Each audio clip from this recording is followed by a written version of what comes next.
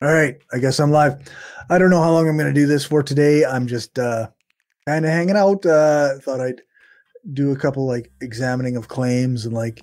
Um, okay, so we're gonna go. That's we're looking at DuckDuckGo. Uh, so one of the claims that's been around on the internet this week has been. Uh, well, actually, I guess before I do that, before I start getting too into this, let's fucking share this Twitter shit. Just started streaming on Twitch, twitch.tv slash skeptical leftist. Looking at some fact finding about internet topics and editing the new interview episode. Interview episode. Wait. Um, okay, where am I here? Right there. All right, we're right there. Okay, so one of the claims that's been going around lately is this uh, this claim about the what do you call it? The gas stoves. So we're gonna we're gonna say, is the U.S. banning gas stoves? Question mark. Enter. Okay, so CNN, first article that comes up, U.S. permanently to to permanently ban gas stoves. This is one link. Uh, tell me best. What is this? MSN? This doesn't look very official. Story by Christy Eckert. Okay was posted one hour ago as the debate over electric vehicles and big government push for society to transition to them continues to rage. Another electric versus gas related debate has spawned. The debate centers around gas stoves and whether or not they should be banned in the United States.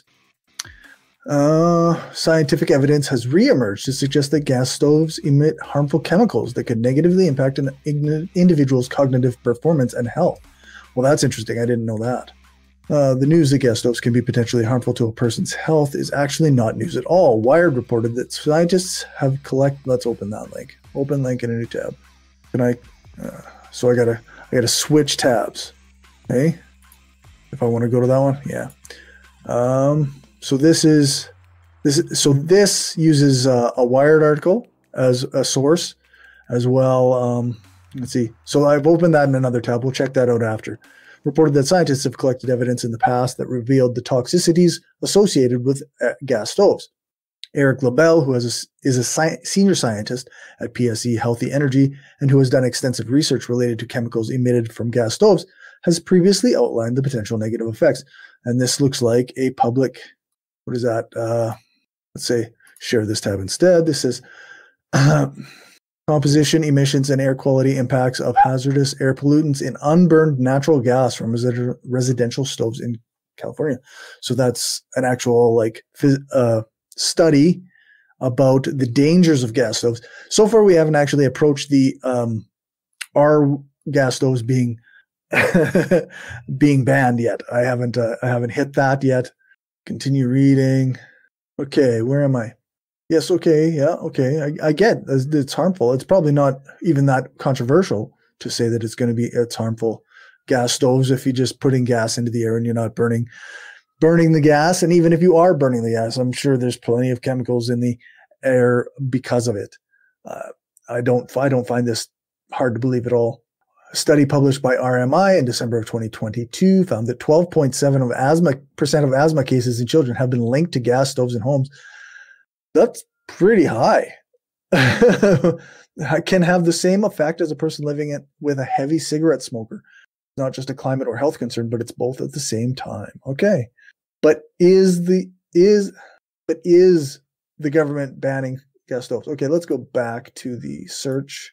Looks like from Intelligencer. The gas stove ban freakout is the story we need right now by Margaret Hartman. Last summer, at a time when the news cycle traditionally slows to a crawl, sharks. What when does this come out? This came out January 13th. Okay. Sharks helpfully started nibbling on people off the coast of Long Island. No one was seriously injured, and the extensive local news coverage gave us something non political to gab about at pool parties and the like. But what are we supposed to talk about this January? Because there's there's no injustice going on. There's no uh, there's no fucking uh, war. There's no bullshit out there in the world. It's just um, uh, very silly, very silly way to phrase that. But uh, maybe she, the uh, writer, is doing that on purpose. I don't, I don't want to, I don't want to accuse them of being uh, disingenuous. What are we supposed to talk about this January? Uh, enter the Great Gas Stove Ban Freakout of 2023. Okay, so here, here we have a very clear statement. To be clear, Joe Biden is not plotting to go door to door, ripping gas stoves out of Americans' kitchens but some lawmakers are acting like he is, and suddenly none of us can stop debating the pros and cons of various cooking appliances. Yeah, no shit. I think we need to savor this story like a bowl of soup warmed on over a noxious blue flame. this is a, a pretty well written story, actually. This is a very, very good article. It's stupid and low stakes. It's stupid, low stakes. Aren't we talking about children's health? sort of. No one's actually issuing a federal ban on gas stoves at the moment. We've known about the alleged health issues related to gas stoves for years, and most, of us aren't getting new appliances anytime soon. Yeah. The current dust up was fueled by Richard Trumka Jr., a U.S. Consumer Product Safety Commissioner. Uh, oh, a remark that Trumka made about gas stoves in Bloomberg News interview this week, uh, saying this is a hit and hazard any option is on the table. Products that can be made safe can be banned. oh, excuse me. That can't be made safe can be banned.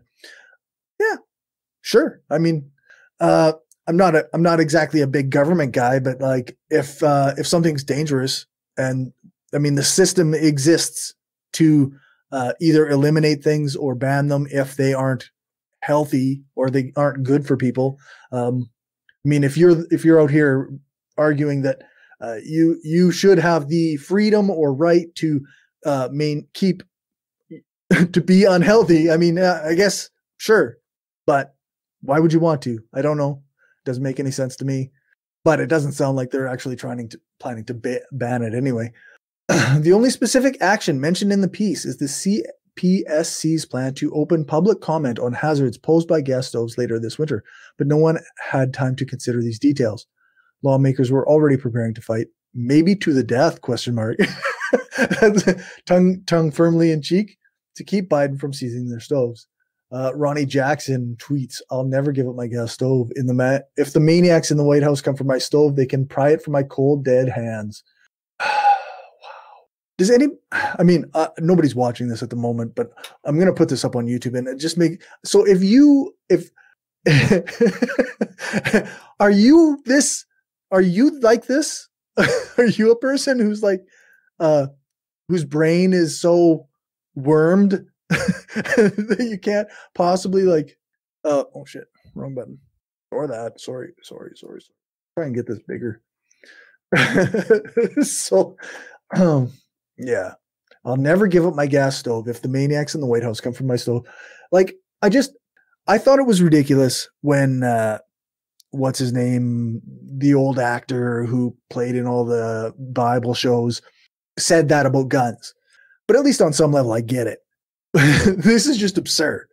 Like, this is just absurd. I mean, I, yeah, I don't know.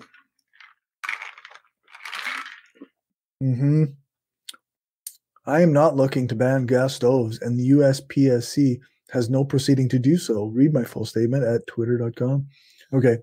The president does not support banning gas stoves and the consumer product safety so like this is nonsense right? Like this is not even a real thing that's actually happening. Somebody took a quote out of context and they were like like and it just became like this big fucking deal somehow. I'm kind of blown away a little bit uh, by the way this kind of blew up but it isn't entirely surprising i remember you know uh right wingers burning their Nikes or throwing their Keurigs out of the fucking windows. I've been making fun of this shit for years on various podcasts and whatnot. Let's look at uh, another article here. We'll bring up. Uh, all right. This is from Popular Science. Despite fiery debate, Biden isn't banning gas stoves in the US. This came out on the 13th. This is three days ago now. Um, for a while now, gas stoves have come under heat for their health and environmental impacts. So this is this is well established in in various ways.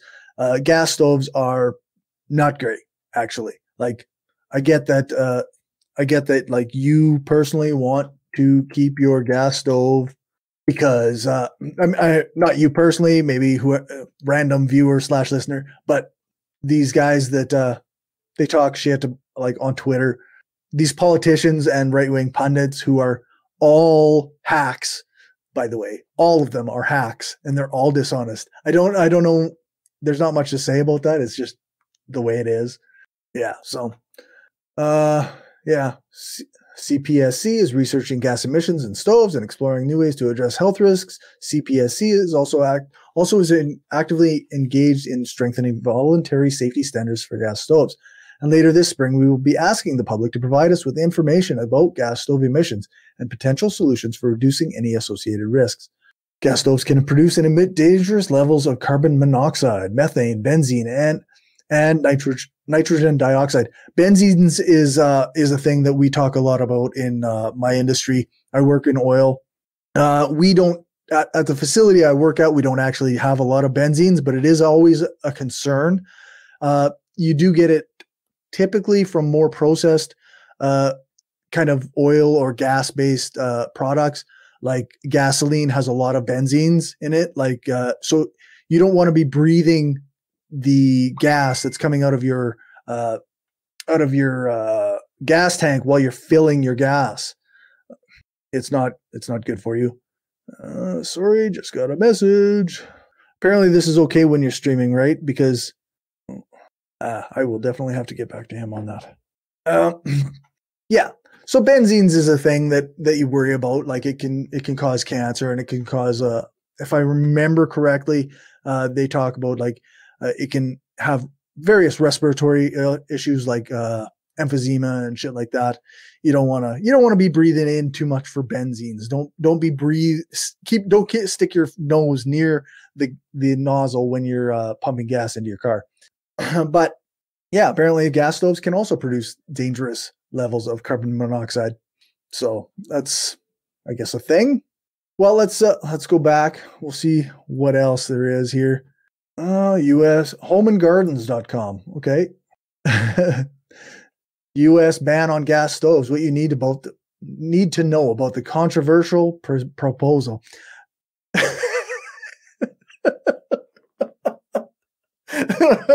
I love headlines. Like I just love that shit.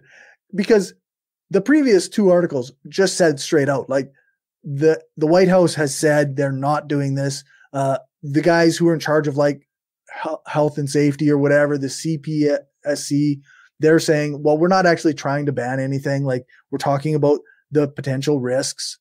Um, so, I mean, and it's again, seems like the risks, like the health is- issues, are pretty straightforward. This isn't like super controversial. The evidence is well established, it's well researched. But okay, Anyway, gas stoves are a staple in many kitchens. Due to a link between harmful gas stove emissions and respiratory illnesses across the US, there is a movement to ban the appliances inside. Is there? Is there? Because nobody else seems to think so. When designing a kitchen, the decision between a gas stove and an electrical model has previously been left to purchase preference, but under the new proposals, gas stoves could be banned from sale in the not so distant future. Which proposals? Because nobody said that. The move comes after a 2022 study. Okay, so yes, this is just again talking about the. Uh, here, I'm going to open this up in a new tab. We'll just take a quick peek at this. Like, um, go okay. Let's accept your cookies. Population attributable fraction of gas stoves and childhood asthma in the United States. The the other article said that uh, it was 12.7 percent of asthma cases in California were potentially attributable to uh, gas stoves. So, indoor gas stove cooking is associated with an increased risk of current asthma among children and is prevalent in 35,000%. That's a lot of percent. 35% of households in the US. Uh, the population level implications of gas cooking are largely unrecognized. We quantified the population attributable faction, fraction for gas stove use and current childhood asthma in the US. Effect sizes previously reported by meta analysis for current asthma, odds ratio equals 1.34 or 95% confidence interval, were utilized at the PAF est- estimations. The proportion of children exposed 18, under 18 years exposed to gas stoves was obtained from the American Housing Survey for the US and states. we found that 12.7% of childhood uh, current childhood asthma in the US is attributable to gas stove use. So that's that's the article that's that study that everybody seems to be uh, talking about. So in a letter to the chair, Alex Hoehn-Saric, a group of lawmakers determined that short-term exposure exposure to NO2 is linked to worsening asthma in children, and long-term exposure has been determined to likely cause the development of asthma. Oh. uh, hello, non-sequently. Yeah, uh, the the gas stove movement.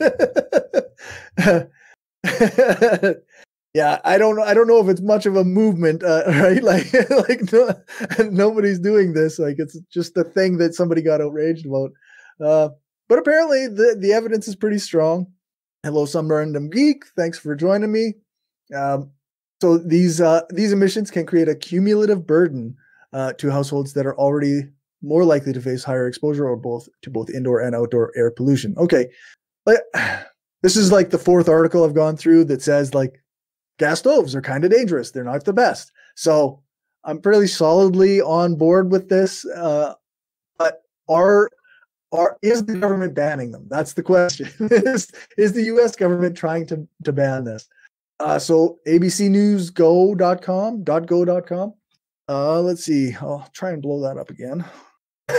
yes, people are not, in fact, rising up against the gas stoves. It's very strange that this is a thing. That I don't know why. Um, yeah, uh, I got something wrong here. I think the chat should be appearing in the fucking window, but it's not for some reason. Something I'll have to figure out later, I guess. but yeah, this is very, very. It's a very funny little debate for me. like like the first article I read kind of said like, ah, yes, well, uh, oh, I can't even remember what it was, but it was very well written. I I will share links uh, in the the show notes, I guess, when I post this on YouTube, just to say like, yeah, this is these are the various articles that we've gone through. Um, but yeah, fact focus. Biden administration isn't banning gas stoves. This is from ABC News uh, following comments made by a member of the Consumer Product Safety Commission, misleading claims that the Biden administration is planning on banning gas stoves have spread widely across social media platforms this week. No shit. Like, okay.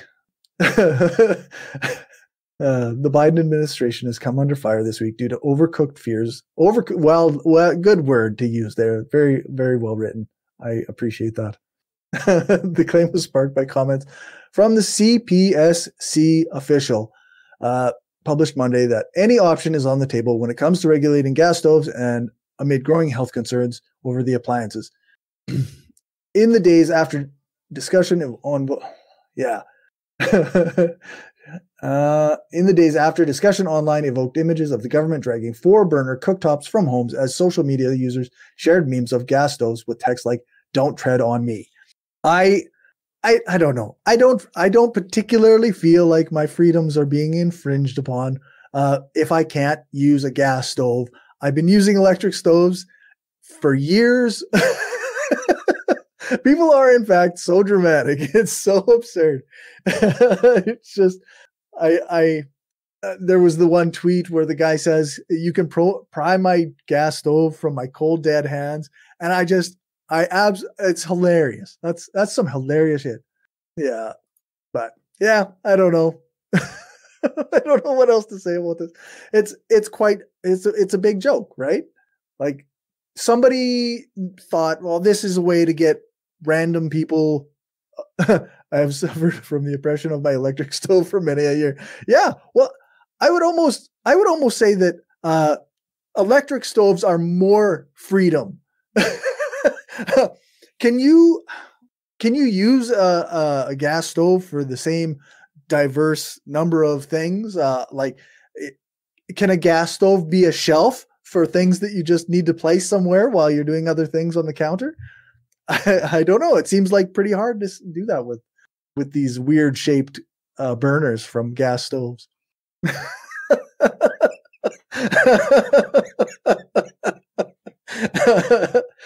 yeah, it's uh so yeah, that's I'll go back again. I I think I've gone through one, two, three, four. That's the fifth article reading this, and no, like I say, I'm using DuckDuckGo. I just did a quick Google search. Is the U.S. banning gas stoves because DuckDuckGo doesn't do the algorithm thing like Google does? I, um, I would love using a gas stove, but somehow I would survive if it wasn't an option for me. Yeah, no, yeah, I, like I've never actually. We have one at work actually. Funny thing is, like I don't know how to turn it on. I've never used it. I've never had a need to because I've always used electric stoves and everything I cook at work actually is actually just microwave food. So, yeah, gas stoves. It's the big it's the big deal of the day. Um, I think so. What other what other nonsense was there on claims was there on the internet this week?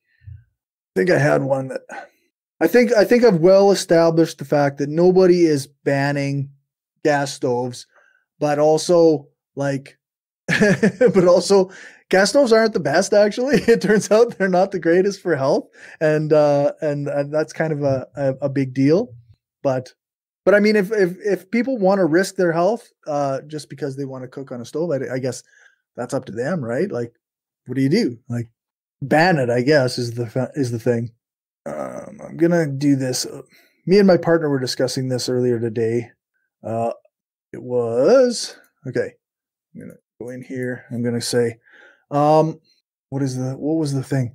Uh, blood types are different blood types more common among different ethnicities. Ethnic, ethnicities. Can't spell. Ethnicities. Oh yeah, yeah. I saw they had a lot of stuff on sale on uh, at AK Press.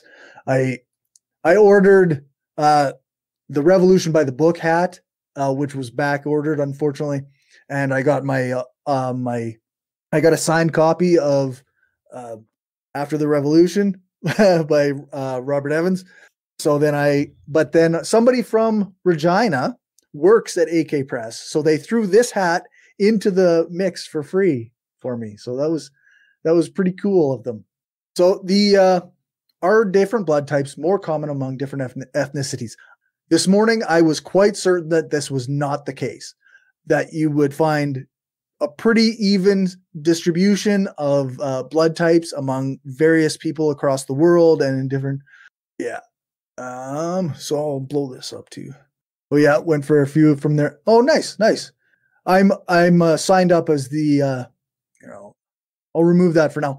I, I'll, I signed up as one of the friends of AK Press so that every month I, I get a couple books or whatever and uh, like a digital copy of like every book they've pr- published that month. So I find that I, I really like it. I get more books than I can read. and I'm thinking I might have to put it on pause for a little while so that I can catch up. But it's quite it's quite nice to have like new books coming. I love new books. It's like I love the the feel of a book. I should I should share them more, give them to people who who need to read them. yeah, it's I I know I can't. Some people I know read really fast, but I, I can't keep up. So yeah. Um. Okay. So what are the rarest and most common blood types? So this is interesting stuff to me. I like I always find like medical science really interesting. I'm not, yeah. I mean, yeah, AK Press is uh it's they're a really good uh, little outlet. I think uh it's very good to support them if we can, although we all can just do what we can. So yeah, blood types are a classification of blood based on the antigens based on red blood cell present on red blood cells. Antigens are molecules that can trigger an immune system response. There are eight common blood groups, but 36 human blood groups in total.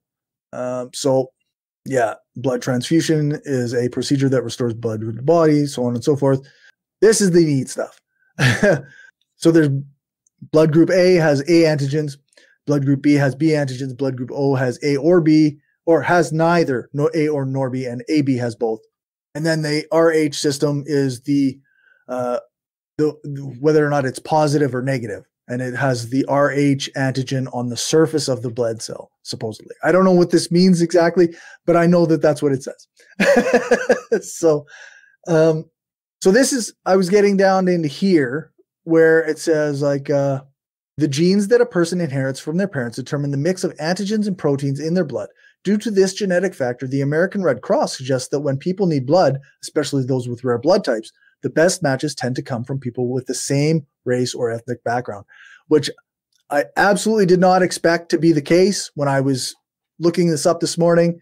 I uh, it's it's interesting to me that that uh, but I guess it also makes sense in some ways. I think like genetics is is really complicated and like medical science is really complicated stuff. So if you have things in common, then it it helps to, yeah, I guess it helps at least uh, for blood transfusions and whatnot. Inherited characteristics characteristics such as blood types tend to run in ethnic groups. Right. So like you get your blood type from your parents, right? Yeah. Yeah. It, it was counterintuitive to me this morning, but upon reading it, it makes it does make sense. Uh, you get your blood type uh, from your parents and they get it from their parents. So if there's like a genetic component to it, or if there's like a, a little bit of similarity, then then that places you within that that group. Only 2% of donors have a rare blood type that doctors often use to treat sickle cell disease, but demand for it is increasing by 10 to 15% each year. The rarity of and demand for this blood type emphasize the importance of blood donors. Uh, yeah. So uh, apparently, actually, uh, there's a shortage of uh, blood donors in various countries of uh, from uh, African descent. So, like uh, black folks in France, for example, uh, there's very few uh, donors, blood donors. Uh, a lot of places, like I don't think in Canada we even track the ethnicity, but because they're tracking the blood types and whatnot, they're testing all the blood to know exactly where they can what it's supposed to do. Then you almost don't need to track ethnicity in in some ways. But so according to the American Red Cross, the following statistics show the most common blood types in the U.S. African American, forty seven percent O positive, positive, twenty four percent A positive, and eighteen percent B positive. So those are the most common types in the U.S. Interesting. Okay. I don't know if I need to read all that, but yeah, this is uh, just a little add on. My my main thing today was uh, I was gonna talk about the the the stoves, but then I also I looked this up on DuckDuckGo this morning because I thought there was a little bit of a disagreement this morning, and I turned out to be incorrect. So it's good to update your knowledge when when you're shown to be wrong. So I don't know. Was there? Oh, uh, what was the other thing I wanted to look up? for fun. Just this isn't serious. Yeah, always good to do a fact check. Yeah, I appreciate that. Uh, um, yeah.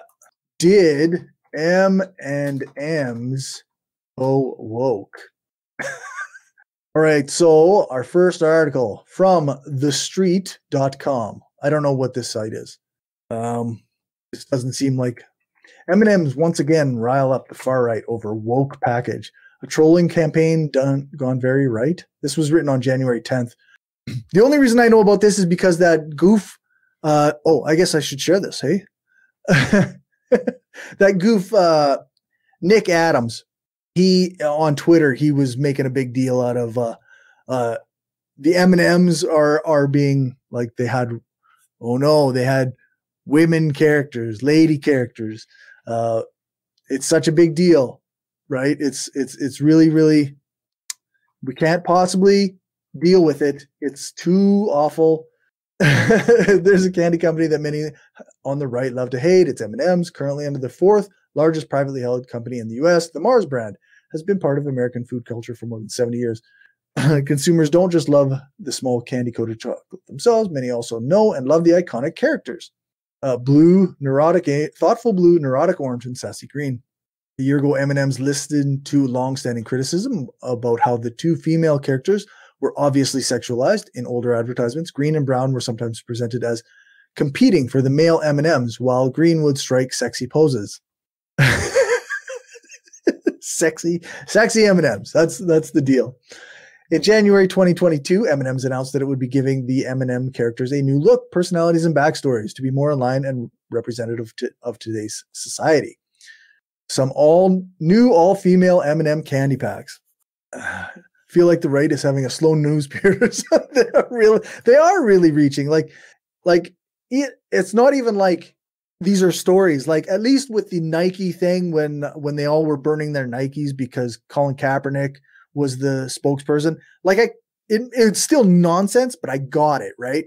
And like, but you always get these moments where they're like destroying their own shit or like uh, like the, when they threw their Keurigs out the window because whatever reason. so, ah, uh, yes. Fox News host Tucker Carlson said that M&M would not stop until every character was deeply unappealing and androgynous, and that equity would only be achieved when you are totally turned off.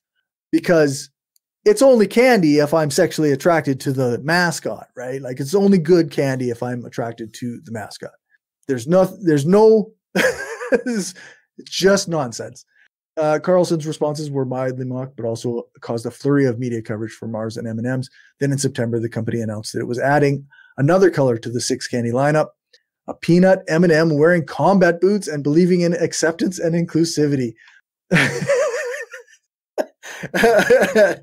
yes, Tucker Carlson is uh, is easily the joke of humanity at this point. Like, I, I, I just don't.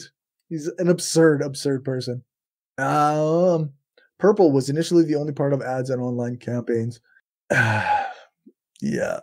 The idea that you can be against inclusivity and uh, acceptance is pretty pretty bizarre. This week, M&M's once again rattled conservative sensibilities by announcing the launch of a limited edition candy package featuring green, brown, and purple in an all-female lineup.